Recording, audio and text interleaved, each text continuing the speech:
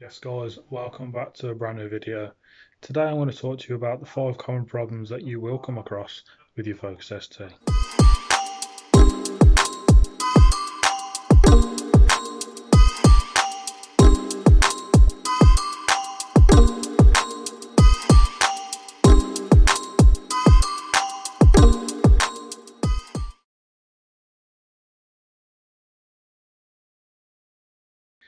So first up on the list is the cracked liner.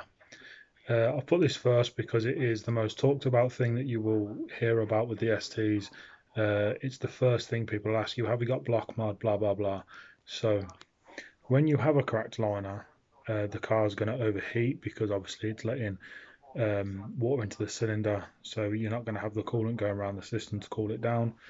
Um, the cylinder is very likely to misfire uh, because it will um, knock the spark out uh, and this will cause the, uh, the cylinder to, to go down. So it'll be uh, running lumpy. And you'll most likely hear it as well. Um, another problem will be the coolant will be mixing with the oil. So you have coolant in your oil because it'll be going down past the uh, uh, cylinder liners and the walls and that. And it will be mixing and congealing in your sump a lot of people say you don't need it. I think it's it's worth it. Peace of mind, if nothing else. It can go once the block mod has been installed, but it is a lot less likely and a lot less common. This is quite a expensive, in my opinion, thing to have done. Uh, it's roughly around £800, uh, depending on what company you go with and where, where you have it done. Uh, the shims themselves aren't actually that expensive. They're only small and I think you can pick them up for about 15, 20 quid. But with everything that's got to come off, it's just not worth doing it yourself unless you're very capable. Um, but the average Joe like myself, I wouldn't attempt it. Um, so that's number one.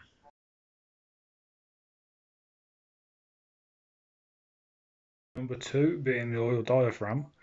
Uh, I haven't actually experienced this myself, but I know a lot of people that have. Um, and when the diaphragm goes, when you turn the car on, you'll get a loud, high pitched whine. Um, and you'll know it's the oil diaphragm because if you open the oil cap in the engine bay, the noise will stop. Um, so if you ever get a high pitched whine coming from there, open the oil cap and uh, you'll know then if it's the oil diaphragm or not. Uh, this can be uh, changed quite easily. Well, cheaply, should I say, not easily. Um, it's just a little piece about two inch by two inch, something like that. Uh, it's just a little rubber seal that sits inside the oil filter housing itself. And like I said, that can be replaced quite cheaply. Uh, but most people just upgrade to the um, metal Volvo unit uh, it's supposed to be an upgraded unit. Like said, I've not done it myself, so I've not been through the experience of it. But that's number two.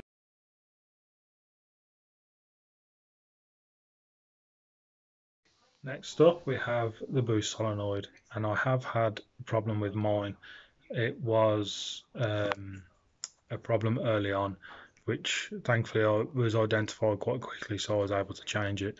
Now, when this uh, is playing up, the boost will fluctuate on the gauge and the car won't be running right. It won't be boosting right, should I say. When mine went, it wouldn't go past a quarter of the way on the boost gauge. Um, no matter what I tried to do or, or how how hard I tried to push the car, it just wouldn't go above a quarter. Um, it's supposed to go from the zero up to three quarters and then settle about halfway like I say, mine wasn't even going past a quarter, so that's um, it's a good indication that your boost solenoid is on the way out. They're pretty easy to replace. Um, I found it okay. The hardest thing really is getting the uh, vac lines off. Um, and if you do try to do it yourself, remember which way round the vac lines go. Um, if anybody needs a diagram or help with that, just let me know in the comments and I'll uh, I'll tell you which ones go where. I haven't got the diagram to hand, but I have got one, um, so uh, it'd be easy enough for me to show you. And these can be replaced for around 50 quid. Uh, you can pick them up from reputable places like Wayside Performance, uh, Matt Lewis Motorsport, all those sorts of places uh, quite easily. Don't go for a second-hand unit and don't go for a cheaper unit. It's just not worth the hassle because if it doesn't it doesn't work or you still get the same issues, you're not going to know if it's the boost solenoid or not. So buy genuine and uh, follow the rule of buy cheap, buy twice.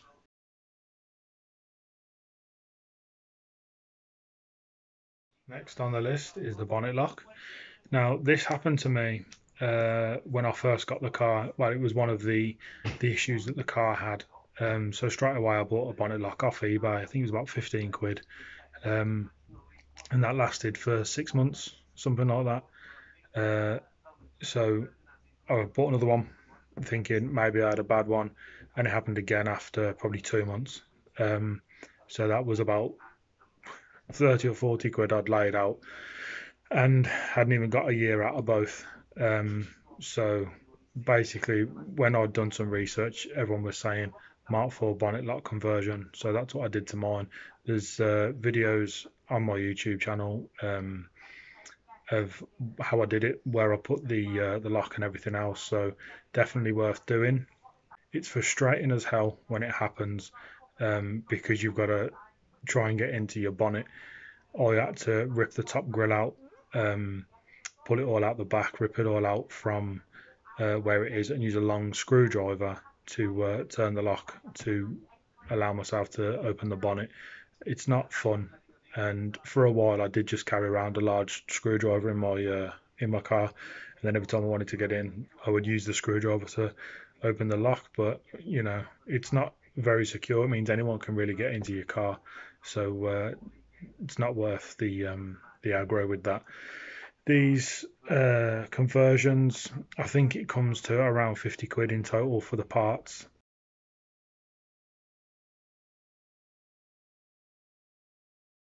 Last but not least is the dash cluster. Now, this happened to me and it is annoying as anything. It's so frustrating. You'd be driving down the road five minutes later, 20 minutes later, 45 minutes later, the car would cut out. Well, no, it wouldn't cut out, sorry. It would, um, you wouldn't be able to accelerate at all. Or if you could, it would be very, very minimal. Uh, car wouldn't go above like 2000 revs or something like that. And you'd have to pull over, turn the car off. Sometimes it would turn back on and everything would be okay. Sometimes it wouldn't. Sometimes the car wouldn't start at all, you know, first thing.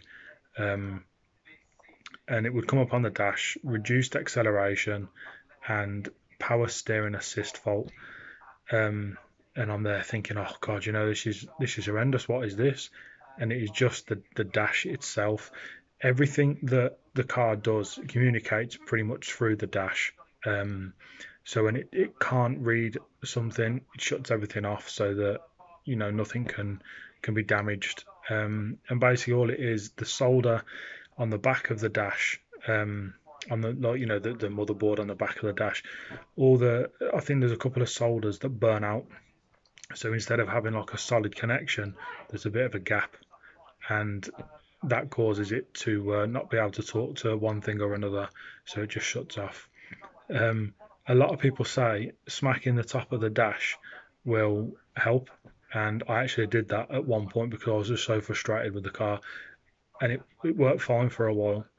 But um, it is an easy fix. You get your get your dash out, uh, send it off to a guy called Aaron Beatwell who works for um, Customod, and uh, it's around sixty quid, something like that. But touch wood, since then haven't had a problem with it. And um, I was very skeptical at first. So you know, you're thinking, well, the dash can do all that. It can. It really can. Um, so yeah, that was my number five. Now I did consider putting the drive shafts in as a problem, but I don't see that as a problem uh, that could go wrong through no fault of your own. They go through harsh acceleration all the time. You know, I've had my car for two years at this point, and I've not had to replace it once. Neither of them. Again, touch wood. I haven't had to, uh, but that's just down to the way I drive. I don't, you know, thrash the pants off it everywhere I go, um, especially from uh, low down in the rev range. So I was going to put that in, but I'm not going to because for me that's down to uh, the driver and how you drive. So that's my top five. Thanks for watching, guys. Uh, hit the subscribe button if this is the sort of thing, or some of the other videos are helpful and this is the sort of thing you're into. And I'll catch you in the next one.